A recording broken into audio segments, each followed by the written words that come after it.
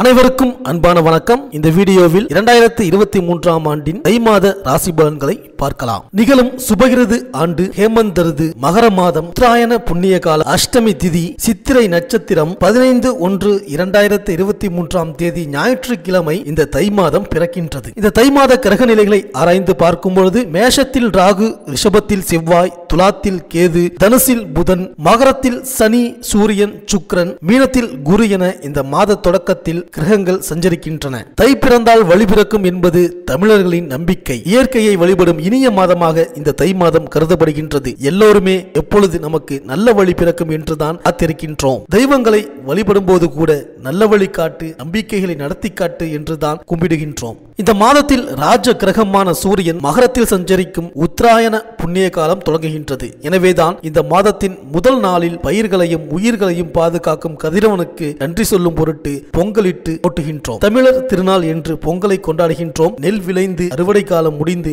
அதன் மூலம் வருமானம் பெருகியது ஒரு காலம். மாடு கட்டி போரடித்தால் மாலாது செந்நெல் என்று யானை கட்டி போரடிக்கும் அழகான தென்மதுரை என்று மதுரையை வர்ணிப்பார்கள். அப்படி உழைப்பிற்கு பலன் கிடைக்கும் மாதமாகத்தான் தை மாதம் கருதப்படுகின்றது. தை பிறந்தால் நமக்கும் ஒரு வழி பிறக்கும் என்று தமிழர்கள் நினைத்தார்கள். தமிழர் திருநாளான பொங்கல் அன்று பதினைந்து ஒன்று இரண்டாயிரத்தி இருபத்தி மூன்று ஞாயிற்றுக்கிழமை காலை ஏழு மணிக்கு மேல் எட்டு மணிக்குள் அல்லது பகல் பதினொன்று மணிக்கு மேல் பனிரெண்டு மணிக்குள் பொங்கல் வைப்பது நல்லது. வீட்டில் மூத்தவர்கள் மஞ்சள் கொத்துக்களை பொங்கல் பானையில் கட்டி பானையை கையில் எடுத்து கிழக்கு நோக்கி நின்று சூரியனை வழிபட்டு அடுப்பினை மூன்று முறை சுற்றி அந்த பானையை வைக்க வேண்டும். பானையில் வண்ணமயமான கோலமிட்டிருப்பது நல்லது. பானை வைக்கும் பொழுது சங்கு ஊத வேண்டும். இதேபோல் பால் பொங்கும் பொழுதும் இறைவனுக்கு பொங்கல் படைக்கும் பொழுதும் சங்கு ஊதுதல் வேண்டும். பானையில் பால் பொங்கும் பொழுது பொங்கலோ பொங்கல் என்று சொல்ல வேண்டும். அன்றைய தினம் பலிதமான காய்கறிகளை சூரியனுக்கு படைத்து பின்னர் அதில் குழம்பு வைத்து சாப்பிட வேண்டும். மேலும் வீட்டு பொங்கலுக்கு மறுநாள் மாட்டு பொங்கல் வைத்து கொண்டாட வேண்டும். பதினாறு ஒன்று இரண்டாயிரத்தி இருபத்தி மூன்று திங்கட்கிழமை அதிகாலை ஆறு மணியிலிருந்து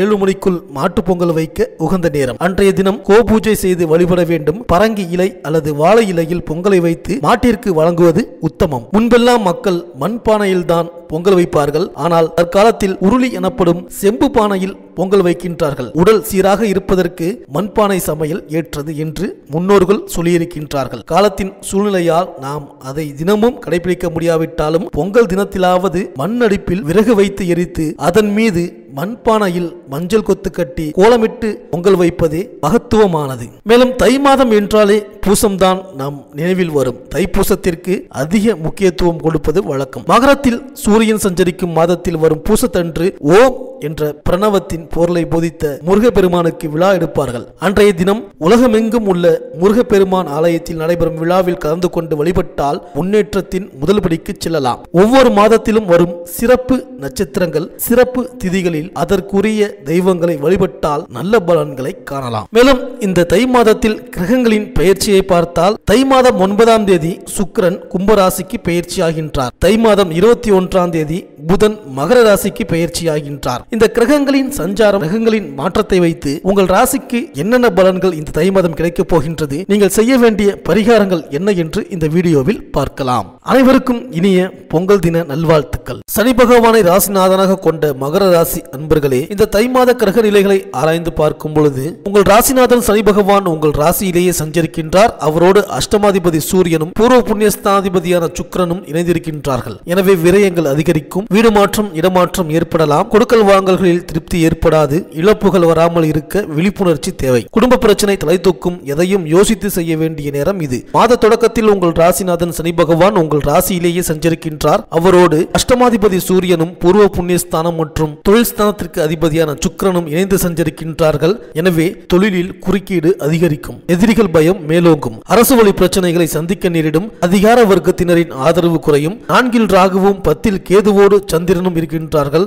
இதனால் ஆரோக்கிய தொல்லை ஏற்படும். ஆகாரத்தில் கட்டுப்பாடு அவசியம். மேலும் செவ்வாய் புத்திரஸ்தனத்தில் இருப்பது யோகம்தான். படித்து முடித்த பிள்ளைகளுக்கு வேலை இல்லையே என்ற கவலை அகலும். நல்ல நிறுவனங்களில் இருந்து அழைப்புகள் வரலாம். ஜென்மசனியின் ஆதிக்கம் இருப்பதால் அடிக்கடி மனக்குழப்பத்திற்கு ஆளாவீர்கள். எதையும் தன்னிச்சையாக செய்ய இயலாது. குரு மூன்றில் சொந்த வீட்டில் பலம் பெற்றிருப்பதால் உடன்பிறப்புகளின் ஒத்துழைப்பு ஓரளவு கிடைக்கும். பஞ்சாயத்துகள் சாதகமாக முடியும். மறைந்த புதனால் நிறைந்த நன்மைகள் உண்டு. மேலும் உங்கள் ராசிநாதனாகவும் ஜனாதிபதியாகவும் விளங்குபவர் சனி. அவரோடு அஷ்டமாதிபதி சூரியன் இணைவது அவ்வளவு நல்லதல்ல. திடீர் விரயங்கள் ஏற்படும். அரசு வழி பிரச்சனைகளால் மனசங்கடம் அதிகரிக்கும். கணக்கு வழக்குகளை கச்சிதமாக வைத்துக் கொள்ளுங்கள். பணிபுரியும் இடத்தில் பக்குவமாக நடந்து கொள்ளுங்கள். வீண் பழிகள் ஏற்படும். உங்களிடம் அளித்த பொறுப்புகளை மற்றவர்களிடம் ஒப்படைத்தால் அது நடைபெறாமல் போகலாம். பணி நிரந்தரம் ஆகவில்லையே என்று கவலைப்படுபவர்கள் பணப்பொறுப்பில் இருப்பவர்கள் மிகுந்த விழிப்புணர்ச்சியோடு இருப்பது உத்தமம். இந்த மகர ராசி அன்பர்களுக்கு உங்கள் தேக ஆரோக்கியம் சிறப்பாக இருந்து எதிலும் சுறுசுறுப்பாக செயல்படுவீர்கள் என்றாலும் உணவு விஷயத்தில் சற்று கட்டுப்பாடோடு இருப்பது நெருங்கியவர்களை அனுசரித்து செல்வது நல்லது. மனைவி மற்றும் பிள்ளைகள் வழியில் வீண் மருத்துவ செலவுகள்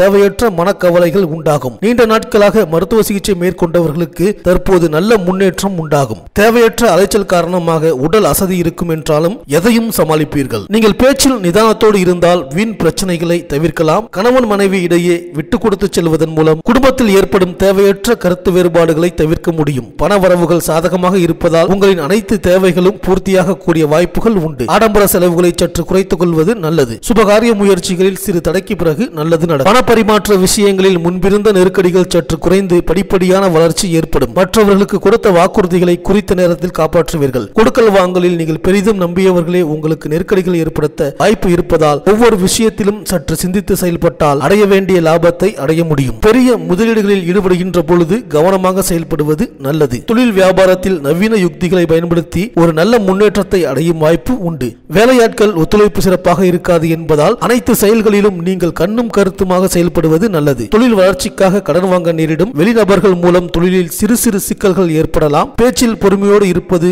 நன்மையை தரும். கால நேரம் பார்க்காமல் கடினமாக உழைத்தால் உயர்வான நிலையை எட்ட முடியும். உத்தியோகத்தில் இருப்பவர்களுக்கு உங்கள் திறமைக்கு ஏற்ற நல்ல வாய்ப்புகள் கிடைக்கும். உங்கள் மீதிருந்த வீண் பழிச்சொற்கள் விலகி நல்ல பெயர் எடுக்க முடியும். எதிர்பார்க்கின்ற பதவி உயர்வுகள் கிடைக்கும் என்றாலும் வேலைபளு கூடுதலாகும். இந்த காரணத்தினால் உங்களது ஓய்வு நேரம் குறையும். ஒரு சிலருக்கு ஏற்படக்கூடிய இடமாற்றத்தால் குடும்பத்தை விட்டு பிரிந்து சென்று வெளியூர் வெளி மாநிலங்களில் பணிபுரியவும் நேரிடும். அரசியலில் உள்ளவர்களுக்கு உங்களுக்கு கடந்த கால சோதனைகள் சற்று குறையும் என்றாலும் பேச்சால் வீண் பிரச்சனைகள் ஏற்படக்கூடிய நேரம் என்பதால் எதையும் யோசித்து பேசுவது முடிந்தவரை விவாதங்களில் கலந்து கொள்வதை தவிர்ப்பது நல்லது. மக்களுக்கு கொடுத்த வாக்குறுதிகளை குறித்த நேரத்தில் நிறைவேற்றுவதில் ஒரு சில இடையூறுகள் ஏற்படும். தலைவர்கள் ஆதரவு சிறப்பாக இருப்பதால் மகிழ்ச்சி உண்டாகும். விவசாயிகளுக்கு பயிர் விளைச்சல் சாதகமாக இருந்தாலும் சந்தையில் நல்ல விலை கிடைப்பதில் இடையூறுகள் ஏற்படும். பராமரிப்பு செலவு அதிகரிப்பதால் போட்ட முதலீட்டை எடுக்க அரும்பாடுபட வேண்டியிருக்கும். கூலி ஆட்கள் ஒத்துழைப்பு அவ்வளவு சிறப்பாக இருக்காது. பொருளாதார ரீதியாக ஒரு சில அனுகூலங்கள் ஏற்பட்டு கடந்த கால கடன் பிரச்சனைகள் குறையும். பங்காளியிடம் அதிகம் பேசாமல் இருப்பது நல்லது. இந்த மகர ராசி பெண்களுக்கு குடும்பத்தில் பொருளாதார நிலை சிறப்பாக இருந்தாலும் பேச்சில் பொறுமையோடு இருப்பது நல்லது. குடும்ப உறுப்பினர்களின் உடல் ஆரோக்கிய பாதிப்புகள் மனக்கவலையை தரும். சுபகாரிய முயற்சி முயற்சிகளில் சிறு தடைக்கு பிறகு நல்லது நடக்கும். வேலைக்கு செல்லும் பெண்களுக்கு எதிர்பார்ப்புகள் நிறைவேறும் என்றாலும் வேலை பளு சற்று கூடுதலாக இருக்கும். மற்றவர்களுக்கு வாக்குறுதி கொடுப்பதை தற்போதைக்கு தவிர்க்கவும். இந்த மகர ராசி கலைஞர்களுக்கு உங்களுக்கு சிறப்பான வாய்ப்புகள் கிடைக்கும் என்றாலும் தொழில் போட்டி காரணமாக ஒரு சில தேவையற்ற இடையூறுகளை சந்திப்பீர்கள். பண வரவுகள் சாதகமாக இருக்கும். பண வாய்ப்பு காரணமாக அடிக்கடி பயணங்கள் மேற்கொள்ளக்கூடிய நிலை உண்டாகும். அலைச்சல் காரணமாக உடல் அசதி ஏற்படும். இருப்பதை அனுபவிக்க இடையூறுகள் உண்டாகக்கூடிய நேரம். மகர ராசி மாணவ மாணவியர்கள் படிப்பில் சிறப்பாக செயல்பட்டு நல்ல மதிப்பெண் பெண்களை எடுப்பீர்கள். தேவையற்ற நட்புகளால் வீண் பிரச்சனை ஏற்படும் என்பதால் மற்றவரிடம் பழகுகின்ற பொழுது கவனத்தோடு இருப்பது பிறர் விஷயத்தில் தலையிடாமல் இருப்பது நல்லது.